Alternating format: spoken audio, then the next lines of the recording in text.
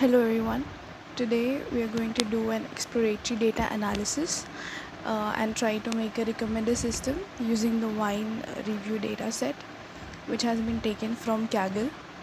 In this we are going to try to answer some important questions. Uh, these are the questions that I have framed that I would like to answer. Now the first things first is that uh, to import the libraries. Now these are the libraries that I will be needing for my exploratory data analysis. Over here, I am um, importing the WineMag data. Now, if we just see the data over here, we can see that there is country description, designation, and all these. And uh, for the dimension, we can see that there is like 130,000 rows almost which is distributed in 14 columns. Now we just see the normal statistics of the data set. We will see that uh, the minimum is 80 for points and the maximum is 100 for points. But at the same time the minimum is 4 for price and 3300 is maximum for price. So this just uh, brings us the normal question that uh, why is there so much of range in price but so less range in points? Now there can be two reasons. That maybe some wines are just uh, unnecessarily very expensive or it can also be that this magazine just deliberately uh, gives good ratings. Uh, so we'll just see what it is and uh, yeah. So so first i'm going to clean the data set so I have seen that is there any null values in the dataset so we saw that there are null values in the dataset and next thing was to see that where these values are where these null values actually lie. So most of the null values were in region 2 in taster name twitter handle region 1 price and designation but mostly in region 2 so the first thing that i did was to just uh, drop the columns like not all the columns but I have dropped unnamed because that was of no reason. I have dropped designation, I have dropped region 1, region 2, and taster Twitter handle. And then I got this. And for this, what I did for the price one, I did not want to lose any price columns. So, what I did was that um, I replaced the null values with the median value of the price column and then I deleted these uh, taster names. So this is my clean data set. Now for the outlier for the price outlier I can see that there is like uh, so much of outlier over here. But I did not delete them because these are not physically impossible values. Like these are the values that can actually occur. And uh, I actually deleted them and uh, it was not a good decision and for the point 2 we can see two outliers one at 100 and one at like 99 uh, which are also not like outliers. They can be really magnificent wines okay so the next thing that i wanted to see was the distinct values. So we have seen that we have wines from over 43 countries and like 664 varieties which is like a lot. So now we are going to do some analysis. So the first thing was to see the country feature now i was really expecting that the top uh, country would be france or italy but it was us and like us was like far more above. Now uh, this is a problem because not a problem but the thing is that when I was reading a few papers, I saw that uh, the Australia produces uh, more wines, but the, you know, here we can see that USA is clearly leading. So this can be that USA is very very uh, active in just sending their reviews or like taking feedbacks maybe, or maybe uh, the magazine is currently uh, more distributed in the US the thing was distribution of country and price. Now here we can see that uh, England is on top and Switzerland second US is third and all. So this is also that I was really skeptical about this data. So I plotted a strip plot. So here we can see that clearly France is a country which has like really a good range of data over here. Now what does that really mean? That means that there is some problem with this and the problem was that I took the average price instead of the weighted average price. So I uh, that is something to be taken care of in the next time. And the same with the expensive wine. No not the same with expensive. So uh, for this countries producing most expensive wine. The highest was France so the wine which is about 3300 is produced by France which is great. So next was country and points. Here it's it's a good thing that India is on second but the thing is that India in this magazine there was only like five or six wines uh, from the Sula winery uh, that have been reviewed. So here also I should have taken the weighted average. So I made a strip plot and here we can see that uh, it's, it's really hard to see. But Italy Portugal Spain France these, these are the countries which have got like a good range of uh, points. The next thing was uh, the variety feature.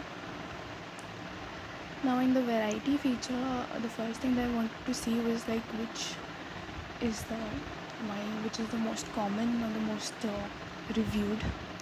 So it was Pinot Noir and when I saw that uh, which is the cheapest so it was Chardonnay and all these things were and the expensive wine are these things. Of course the 3300 wine.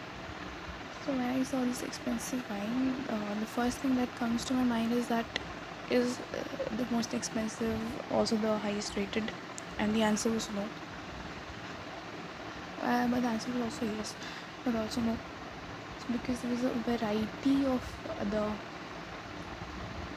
variety of other varieties that got uh, close to 100 or almost 100 so i also did this cheap and best. So for that what i did was i created two data frames. This was of uh, not so much of help but so i created two data frames. One which had highest point and one which had cheap cheap ones and i merged them and got this answer. So for this question that which variety of grape will be the best i think the these will be the best because these have got the highest point and also they have such low price They not not exactly this wine got low price but the variety got such low price so uh, we can give a try. This is a very funny cartoon and then if we see that who uh, reviewed the most number of wine then that was Roger Voss and we can see that he reviewed like 110,000 times more than the second person which was amazing. And then if we see that uh, so what was my uh, motive behind this was i wanted to see that is there any uh, person any reviewer who's like normally grumpy uh, gives low points or like normally very happy and gives high points. But uh, on plotting this uh, we can see that uh, the range is almost same. And for people who got very low are like it can be because they got really very very less minds to just uh, review. So the next thing okay but still i wanted to see that uh, which of the people gave 100 so we can see that lot lot of Roger Voss so of course. But i think that roger was a little critical because uh, in so much data that he that he has uh, reviewed he's given only this much of hundreds. But we can see that there are other people too. So if we want to just uh, give just specify some reviewer to review a wine then it, it has to be someone of this. So next thing was description features. Now description is actually uh, the text reviews that have been given and they were in very good grammar. There was no grammatical errors or anything like that. So what I did over here was I just uh, created a word cloud. And for the word cloud for the lowest rated you will see that you will uh, there are bitter burnt sour acidity and all these things. For highest points you will see dense concentrated acidity again. There's also something called magnificent that I cannot see over here right now but yeah it was there the other thing was to see the, uh, the expensive wines. But in expensive wine also we cannot see that something them uh, like uh, something totally different from this. It was like normal. And for the cheap wine also it was like normal. It was not so like it was not so bad or something. Then I did a whole description and the next thing was to see that is the description length in anyhow connected to the points? No. Is anyhow related to the price? Okay. So for the price we saw that there's like no relationship between the price and description length. So at least for wine we can say that they really don't care about the price.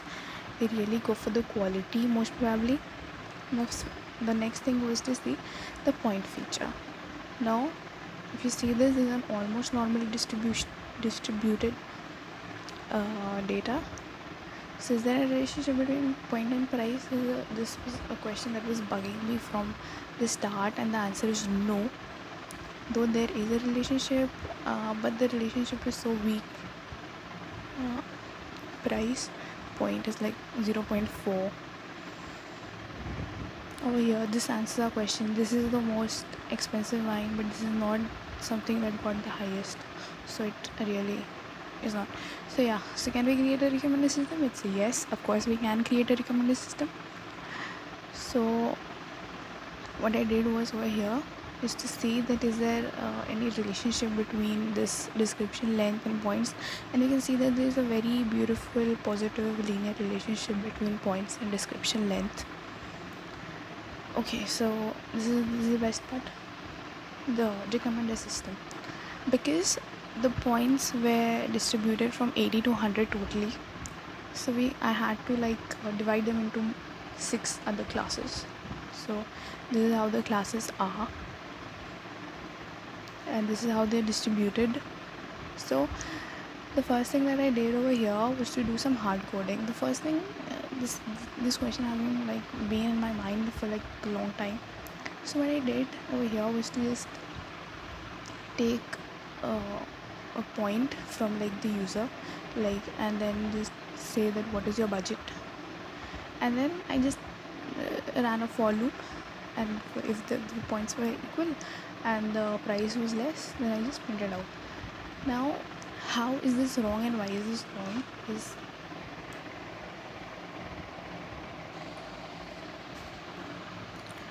so uh, why is this wrong? Is because uh, even though the points may be same and the price may be low it really doesn't mean that I will like it or the user will like it.